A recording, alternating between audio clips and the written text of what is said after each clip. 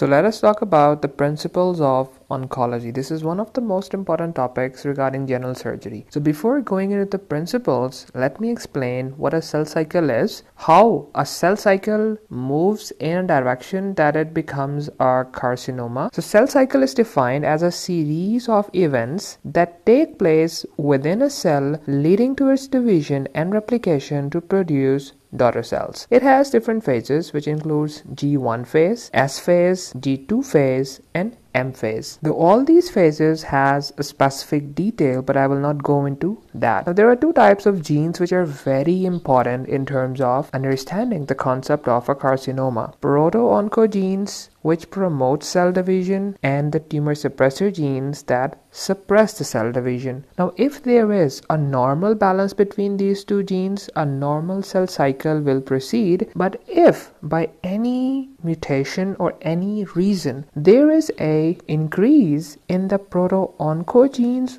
or by any means there is a decrease in the tumor suppressor gene, the cell cycle will have an imbalance and it will proceed towards the carcinoma. Now, talking about the definition of a neoplasia or carcinoma, it is defined as formation of new tissue that is unregulated and irreversible. Now, whenever a normal stem cell divides, it has normal DNA. Because of any reason, if the DNA of the stem cell gets disrupted, it will form a cancerous cell. Now, by disruption, we mean mutation, and more divisions, more mutation, poor the prognosis, and more ability to invade. So these are the basic principles. If we have a strong grasp of these concepts, we can understand carcinoma because carcinoma is one of the most important and most common pathology. Now let us talk about the hallmarks of a cancerous cells. The, the carcinomatous cell will resist the signals that will inhibit its growth. It will evade apoptosis by the loss of tumor suppressor gene. Now,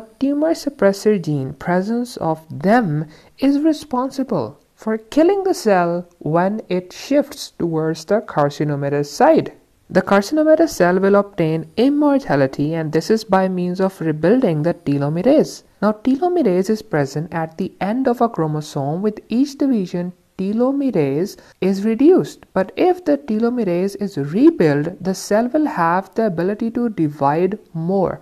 So by rebuilding the telomerase, the cancerous cells keep on dividing and keep on proliferating. Then they also acquire angiogenic properties. They start developing in that locality where they are present some blood vessels around them so that they can acquire nutrition from the surrounding tissue. Then they acquire the ability to invade and this is by means of expressing integrins on their surfaces.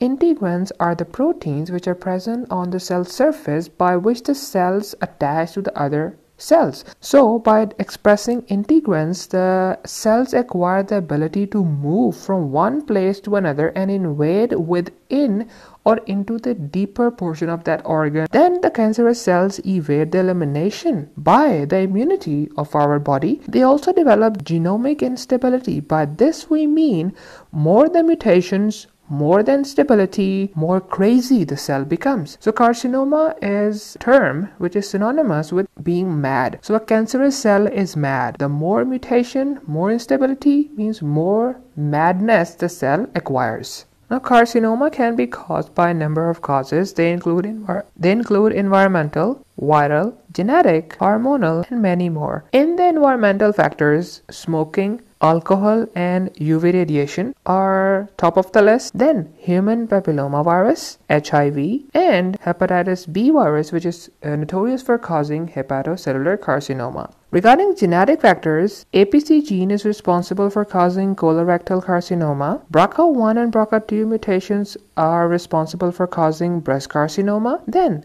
Diet and hormonal factors are also responsible for causing carcinoma. All of the characteristics of a cancerous cell arise as a result of mutation. So mutation is the key point on which whole study of carcinoma is based upon. The rationale behind prevention is that prevention is better than cure. By avoiding smoking, radiation exposure, we can avoid carcinoma. In case of a family history, a prophylactic surgery will be ideally needed to prevent carcinoma. Now further talking about screening. Screening processes are very important so that we can identify patients who are liable to develop a carcinoma later in their life and we can provide them with better health care facilities so that we can treat them properly. The rationale for screening is that less the mutation, smaller will be the lesion, lesser will be the chance of its spread and better the prognosis and treatment. But for screening to be performed,